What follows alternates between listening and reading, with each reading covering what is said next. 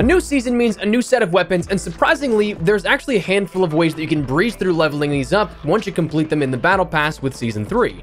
Today, we're running down the best ways to rank up your weapons, so as we go along, drop your thoughts down below. How you liking the new weapons so far? Enjoying any? Maybe not so much? Whatever the case, drop your thoughts below. As well, if you enjoyed the video, drop a like on it, and if you're new to the channel, hit that subscribe button to stay up to date with all things Warzone, Season 3, and even now, officially speaking, Modern Warfare 2 content for those that missed the announcement earlier today. We'll keep it the day with absolutely any and everything in regards to Call of Duty, so if you're interested, I'd love to have you in the community. And finally, in celebration of Season 3, and coincidentally, I'm adding it to the list in celebration of Modern Warfare 2's announcement, my friends at G Fuel have bumped up code ESPRESSO to 30% off your entire order. So if you'd like to try something out for the very first time, grab a restock, whatever the case, now is as best a time as any. Saves you a decent bit of money with each order. Personally, Pink Drip, Strawberry Banana, Hype Sauce, the new Morbius flavor, and probably Starfruit are my top five right now. All phenomenal choices, but check them out in the description below if you guys are at all interested. That said, let's jump into it. So when it comes to leveling your weapons, we're pretty much set in stone for what we know here, and we have been for a little while now. But the reason that I want to revisit this topic here shortly for Season 3 is that right now there's an even better way to do it by comparison, a way that will let you max out each weapon in a few matches, maybe like two hours for both of the new weapons. But honestly, you don't have to do just these new weapons. If you have any weapon from Modern Warfare, Black Ops Cold War, or Vanguard that you still need to rank up, this is seriously a great way to do so. And honestly, when it comes to leveling, it takes a little too long as of recently. So to shave off as much time as possible, this is absolutely something that I would love to do and hopefully can help you out. Now, let's keep it on the down low. Don't want to bring too much heat this that it gets fixed, but right now, Caldera Clash is your TDM-based mode that sees you in a 50v50 match in a small section of Caldera. Kind of high action, depending on if you end up getting towards that sort of mid-range of the map. If you're back in your spawn at your sort of safe zone with that, you're not really going to see a whole ton of action, but once you get up towards mid-map, that's where you're going to see a ton of gunfights. And with it being TDM based, you're likely to jump into those engagements a little more. So instead of your normal maybe 5, 10, 15 kills on average you get per match in BR, maybe even Plunder, you can easily get 20, 25, and 30 up. Plus, there's contracts that give you bonus XP for completion for, say, completing bounties with your weaponry, or even if you just have that weapon in hand when it's completed or poached. Each contract multiplies that reward, so you'll end up getting more and more XP for completing the more of them you do, upping that ante for that overall weapon XP yield. But then you add in the fact that right now, it's also a max XP event, meaning that on top of the kills, on top of the contract completions, you're going to get more XP by default for your overall rank, weapon rank, clan rank, operator ranks, and battle pass ranking across Warzone and Vanguard for this Season 3 launch. But get this, it's still not done because right now, I'm not sure if it's Clash only, but it's definitely the easiest way to do it here at this. Double XP tokens actually stack on top of this max XP event, meaning that you'll end up getting at its base, fundamentally quad XP for your weapons if you pop a weapon XP token.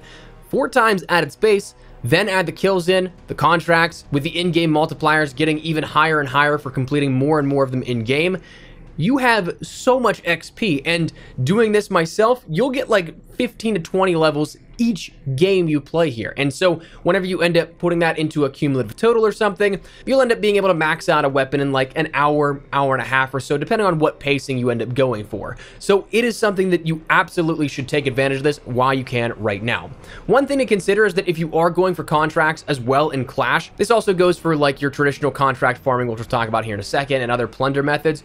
Point Man is a useful perk that you can run to increase those bonuses for each bounty or other contract completion. So if you're going to complete them, it absolutely helps. Maybe consider that. But if you don't get many done, the differences will be minimal, so you might not need to take it. So right now, absolutely take advantage of that one. That is probably by and far the best method at the moment.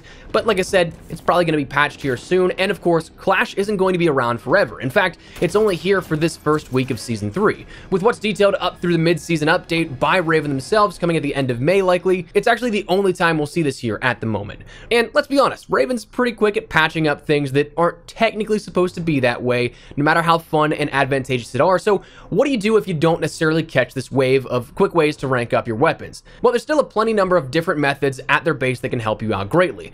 Honestly, one that if you want to stick to Warzone is still, I think, the best one outside of when anything is bugged is the traditional contract farming method. It's a great way to kind of just shut off your brain and hop in a Discord call with your friends, listen to a podcast, watch a TV show, whatever the case, and you can just grind out your weapons kind of mindlessly. Now, this is something you'll want to double XP token active. Obviously, that goes for basically every opportunity here at this. Or if it's during a max XP event or double XP event like we have right now, you just want to make sure that you're hitting that two times bonus at minimum. Rebirth Island is perhaps the best for this. And the nice part about Rebirth, after the Rebirth Resurgence event with Season 2.5 this past season, we've seen Plunder and Respawn modes come into play on Rebirth, not just Caldera or previously in Verdansk. And in fact, next week, the week of May 5th, Blood Money Quads is going to be active. So what you want to do for this is find your supply run contracts or bounty contracts, whatever you feel you can complete the easiest and the most in a given match set time. You want to do that with a double XP or event XP token active and just grind through those. Supply runs, if you land on a helo, you'll zip around Rebirth with absolute ease. And so long as you've got into that helo with the weapon that you want to rank up, so long that it's stowed as that sort of primary, all you have to do is just land, tap the buy station, you're good to go. You don't even have to get out of the helo and it will credit your weapon rank. Same thing, of course, can be done in Caldera, but because it's a bigger map, it's more spread out. Buy stations mean more time in between things like your supply run completions, though, though Plunder won't be back in Caldera until the week of May 11th, so you've got time to take advantage of this on Rebirth come next week as well. But that's a phenomenal option, and then we kind of get down to the more basic stuff that really just comes down to playing your games and how much you can efficiently manage your time, how well you can play with that weapon and such. Vanguard multiplayer, I don't know if it's ever been actually confirmed, but I swear that when it comes to regular base weapon leveling, the primary multiplayer experiences for Vanguard, Cold War, Modern Warfare, I feel like they might be slightly tweaked. I don't know if it's a tinfoil hat theory or something like that, where they might be tweaked where they do give a little bit more XP over time by comparison to the same amount of playtime in, say, Warzone. But Vanguard multiplayer, things like your Shipment, Das Haus, and the new map of Mayhem are phenomenal maps to play around with because you have tons of action. The more action you end up getting, that's of course more kills with that weapon, more capture points with that weapon out, and it all ends up accumulating into more XP for that weapon. Though if you're not really too fond of Vanguard multiplayer for these particular Season 3 weapons, Vanguard Zombies is also an option, though again, it might not tickle your fancy too much. That is something that still, that 35 kill method is very easy to do and is something that you can turn your brain off. It's pretty droning, I will say. It's kind of boring to do, but it's effective, in which all you have to do is go in, get 35 kills, back out, start a new match, get 35 kills, back out, start a new match, get 35 kills, and so on and so forth. So if you can deal with that monotony, again, that's a great way to do it if you don't want to deal with, say, skill-based or retention-based matchmaking in traditional multiplayer for Vanguard, or if you don't want to play Warzone, or if you just don't find any of the modes fun in Warzone at that time whenever you try and rank things up. So that said, just wanted to revisit this topic of discussion here, give you guys some brief rundowns on some great ways to maximize your XP yield in either Warzone or Vanguard to rank up either these new weapons or any weapons that you may end up having still on deck for any of the COD games that are connected. So that said, that's we're going to wrap it up. Just wanted to fill you guys in briefly. Let me know your thoughts down below. Are you guys ranking up these new weapons for Vanguard Season 3? Do not really care too much about them? Whatever the case, drop your thoughts below. But if you enjoyed the video, do me a favor and drop a like on it. And if you're new to the channel, hit the subscribe button so you don't miss a single thing regarding all things Warzone, Vanguard, Season 3, and even Modern Warfare 2 content. Still feels surreal to say, but hit that subscribe button if you guys would like to see video, all of that. That said, thanks so much for watching. My name is Espresso. I'll see you guys later. Take care, and peace.